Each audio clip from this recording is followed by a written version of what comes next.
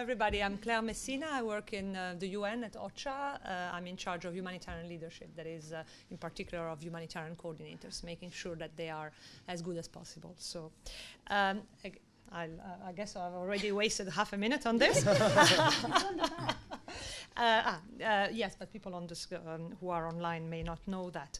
Um, I agree with everything that all the other speakers have said. So instead of just repeating it, which would um, uh, make it very boring, I will just uh, tell you what uh, one of these senior UN leaders, uh, humanitarian leaders, uh, recently told me.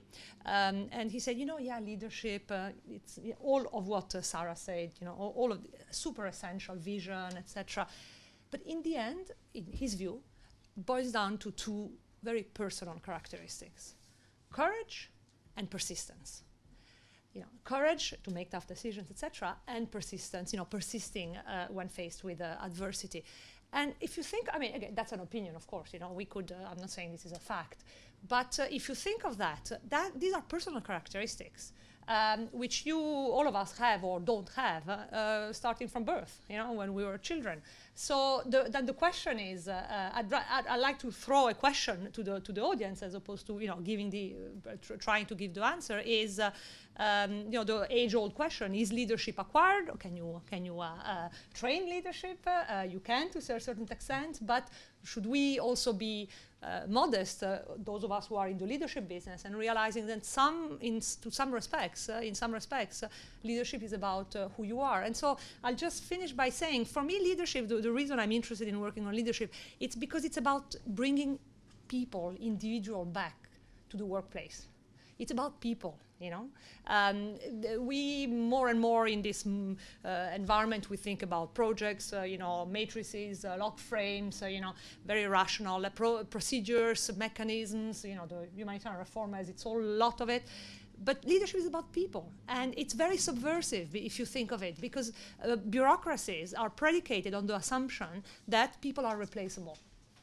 And leadership is just crying in the opposite direction and saying, no, people are not replaceable. Somebody, a leader leave, leaves a certain context, something, you know, that you, you feel it, you can feel it. So I'll stop, I'll stop at that. It's about people. Yeah.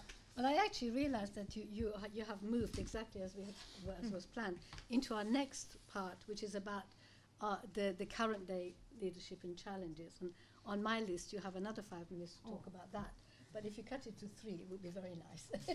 yeah, no, I'll, uh, I won't. I can um, meet my deadline. Yeah, uh, yeah. I was trying to condense yes, my yes. three, uh, my three uh, slots. I didn't want to, want uh, to take. Um, yeah. Um, yeah. one of the questions I was asked and I didn't yeah. answer is: uh, um, Are there a lack of leader in the in leaders in the humanitarian yes. sector? Yes.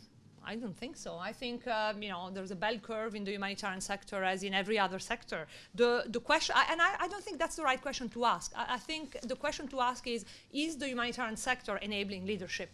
Um, uh, and, and, that brings back to my earlier point. Uh, uh, okay, uh, the, is, is, uh, are we over bureaucratizing the way we do business so much so that uh, the creativity, the courage that, that usually are associated with leadership are, are constrained? I will leave it at that then so that we have more time well for that, discussion. That wonderfully opens the way about the whole question of whether leadership in post-crisis environment is itself in crisis, and is there a real problem about about leadership, and and and you know how to engage communities in this process. Um, and I think at this point I'll ask Sultan to to address these questions. Thank you very much.